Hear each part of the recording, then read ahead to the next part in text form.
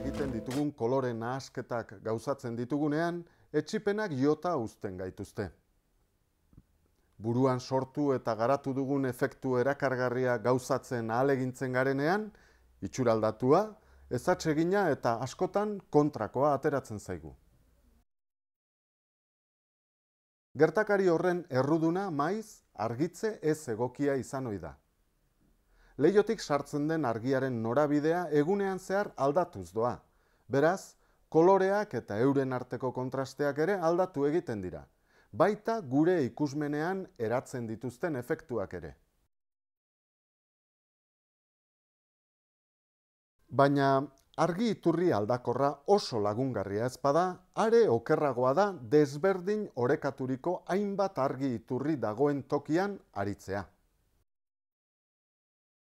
Kasu honetan, konposaketa begiratzeko aukeratu den angeluaren arabera, efektu bat edo beste bat ikusiko da. Marko gaizki pentsatuek eta horma margotuek ere gure lan guztia pikutara bidal dezakete.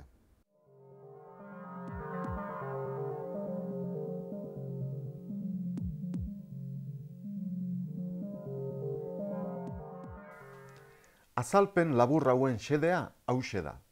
Koloreak protagonismoa daukan lanen bat egiterakoan, kontuan izan behar dituzuen gauzen gainean ohartaraztea.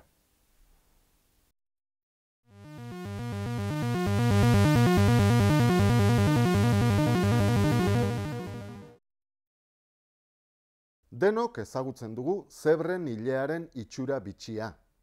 Zebren kolore zerrendak tonu argi eta iluneko lerro ez erregularrak dira. Goialdean zabalak izaten dira, eta estuagoak behe aldean. Gauez, ilargiaren argitan, zebraren gorputzak goitik argitutako esfera baten gisako irudia islatzen du. Goialdean argiagoa da, behaldean berriz, gero eta ilunagoa.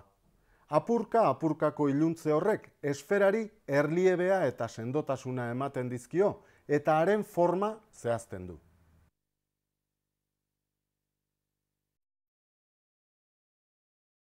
Esfera baten gainean, zebren marren antzekoak marrazten baditugu, esferari marrek sortzen dituzten itzalek ematen dioten volumena da antzematen dugun lehenengo gauza.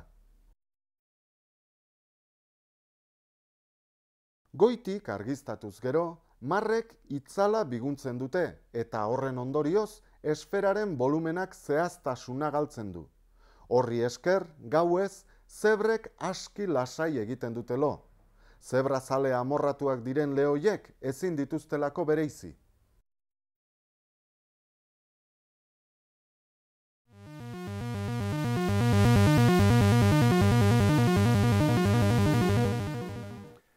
Batzuk elkarren ondoan jartzen ditugunean, edo batzuk besteen gainean, asaldatu egiten dira, mugitu egiten dira. Egon ezina sortzen zaiela ematen du.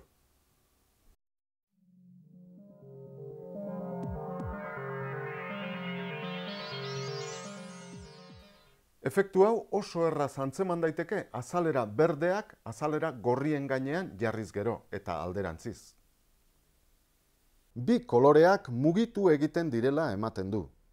Baina fenomeno hau bi koloreak asetasun eta argitasun berdinekoak direnean bakarrik gertatzen da. Koloreek aipatutako bi baldintzak ezpadituzte betetzen, ezinezkoa da efektua lortzea.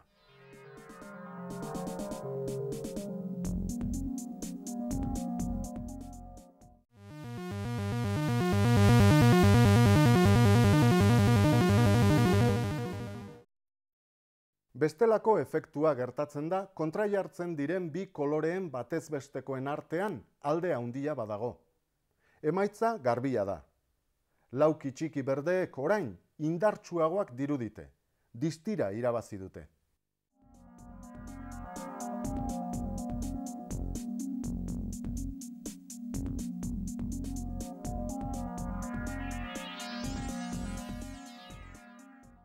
Azalera gehiena kolore ilun batez betetzen bada, lauki txikiak distiratsu ageri dira. Azalera gehiena kolore argi batez betetzen bada, lauki txikiak ilundu egiten dira, amatatu.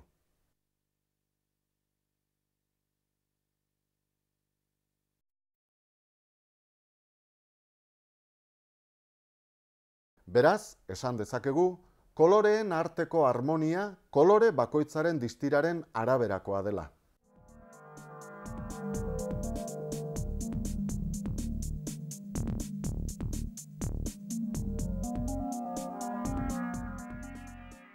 Mailaketan horia da distiratsuena eta gorria urrengoa. Berdea eta magenta datoz jarraian, ziana gero eta azken tokian urdina dago.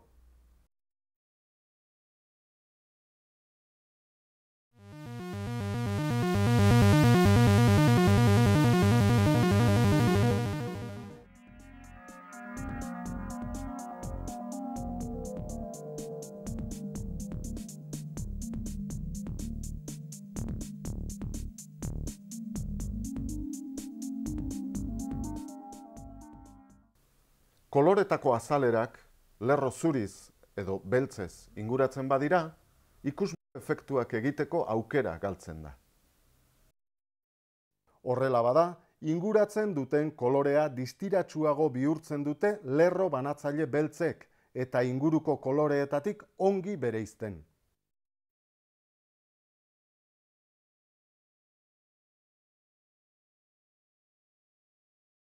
Lerro banatzaile zuriek aldiz, inguratzen duten kolorea ilundu egiten dute.